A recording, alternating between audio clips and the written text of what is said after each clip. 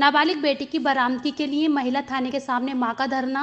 मुरादाबाद की महिला थाना पुलिस पर गंभीर आरोप लगाते हुए एक महिला थाने के सामने बड़ा बैनर लेकर धरने पर बैठ गई है। उक्त महिला का आरोप है कि उसकी नाबालिग बेटी पिछले नौ दिनों से लापता है, जिसकी महिला थाने में होने की सूचना उसे फ़ोन द्वारा दी गई, क्योंकि उसकी बेटी अभी तक उसे नहीं मिल पा रही है।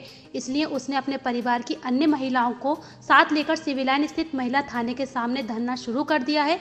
ये महिलाएँ अपने हाथों में बड़ा बैनर लिए हुए हैं और चौराहों के चारों तरफ़ भी अपनी लापता बेटी के पोस्टर चस्पा कर दिए हैं। इस माँ ने योगी सरकार से अपनी बेटी को बरामद करने की मांग करते हुए गुहार लगाई है कि इससे अच्छा तो किसी के घर में बेटी हो ही नहीं। इन महिलाओं का मुरादाबाद पुलिस के खिलाफ भी खासा गुस्सा बना हुआ है। अपनी बेटी को थाने में मिलती है मेरी बेटी। मेरी बात कराई जाती है, मुझसे कहती है, वहाँ पे कहती है, थाने में भेजती फिर मेरी लड़की नहीं मिलती है। मैं कहती हूँ तो वो मेरे साथ बदतमीजी करती तीन चार महिला मुझे खींचती हैं। है ना? तो मैं आ जाती हूँ मेरी भंडर के मारे ले जाती है कहीं मारे मारे नहीं। तो मैं बहुत रोती हूँ अपने बच्चे के लिए। फिर मैं सब अधिकारियों को कम लगाती हूँ एप्लीकेशन मीडिया में सब में देती हूँ मेरी बच्ची नहीं मिलती है। और आज मैं थक के ही बैठ गई हूँ ना मैंने खाना खाया नौ दिन से ना पानी तो पिया है मैंने। कितने दिन से कितने दिन से दिन से खाना नहीं खाया। मेरी लड़की नौ दिन हो गई आज के दिन मेरे थाने में लड़की देखी थी मैंने। कितनी कितनी उम्र है बेटी? नाबालिग लड़की है मेरी भैया आपने अभी आपने अभी ये कहा कि महिला थाने में मिली थी आपको? हाँ मैंने देखी पर महिला थाने वाली ने मुझे नहीं दी आपने देखी थी महिला थाने में? लड़की देखी है दूर से मेरी बात भी नहीं कराई है मैं तड़पती रह गई। अब कहाँ है वो बच्चे तो यही देंगे मेरे तो। दिखा फ़ोटो फ़ोटो फ़ोटो दिखा फ़ोटो दिखा। मेरी लड़की मैं यही मर जाऊँगी भूखे प्यासी। यहीं पे पड़ी रहूँगी।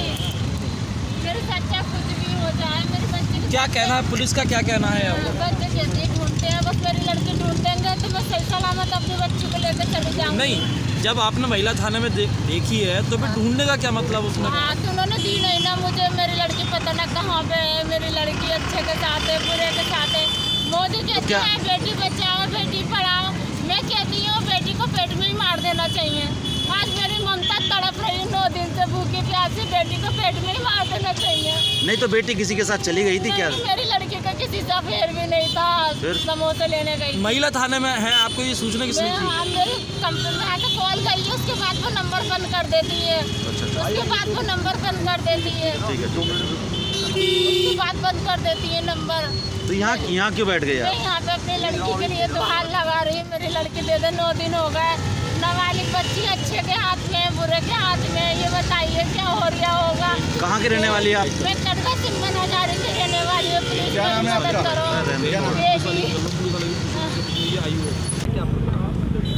एक बच्ची के गायब होने की शिकायत को लेकर के वो अनशन पर बैठी हुई हैं। उनकी मदर हैं। उनका ये कहना है कि उनकी बच्ची आई थी उनको और एक एफ़ की कॉपी। हालाँकि एफ़ आई इनफैक्ट उनकी अपनी माँ के विरुद्ध ही थी। और हमारी महिला ऐसा ने बैठाया था। और तब तक वो लड़की कुछ लेने के बहाने निकली और कहीं चली गई। अभी तक लड़की गुमशुदा है। उसी को खोजने को लेकर के वो अनशन पर बैठी हुई है। देखिए इस विषय पे अभी हमारी पहली प्रायोरिटी उस लड़की को खोजने की है।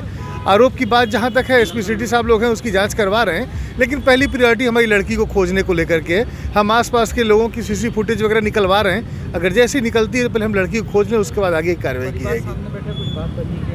अभी तक कोई बात नहीं बनी। उनका कहना है कि लड़की को खोजी तभी हम उठेंगे। हम लगा हम हम सिर्फ़ आश्वासन देने की स्थिति में हम इतना ही है कि हम लड़की को खोजने का प्रयास कर रहे हैं जल्दी से जल्दी।